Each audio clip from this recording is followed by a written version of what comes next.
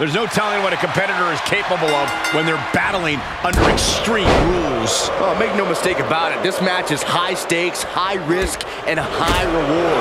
A mistake here can take years off your career. Yeah, it's impossible to predict what kind of danger awaits because everything and anything is legal here, gentlemen. Look at the height. Frog splash.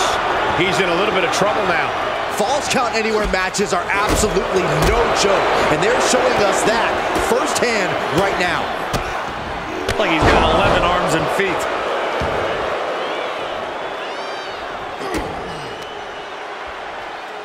Hooks the leg. Samoan driver. Ducks under. Knockout victory. This one is over. Here is your winner, Robert Mondo. And what a victory, surviving. And what? Why is... He's interrupting an important moment. This is classless.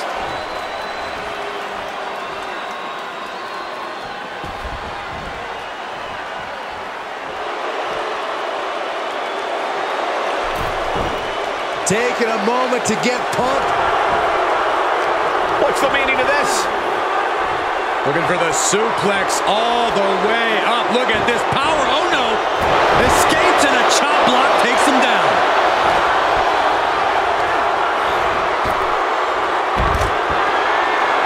Look at the height. Not going to let himself get taken by surprise.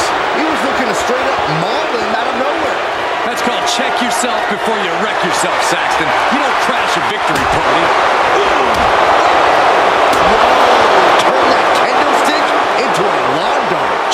Turn that